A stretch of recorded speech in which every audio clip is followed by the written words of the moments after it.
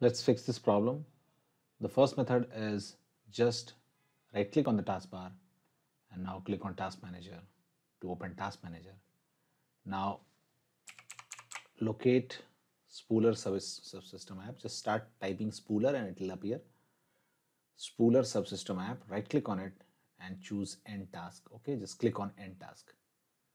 Okay, and it will fix the problem for you. If this does not fixes your problem, there is one more thing which you can do and that is just search main.cpl in Windows 10 search box.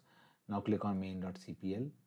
Now click on pointer option and make sure it is unchecked. Okay. If it is checked, just make sure it is unchecked and click on apply and click on OK.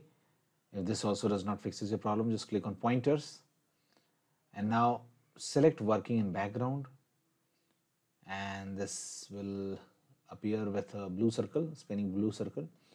Now we will change it to normal pointer, okay? Working in background will also show a normal pointer also, normal pointer only, okay? So click on browse and select any one of this, smaller or medium or bigger and now click on open to select it and now finally click on apply and OK and your problem will be fixed. That's it guys. Please do like the video to support us and thanks for watching the Geek.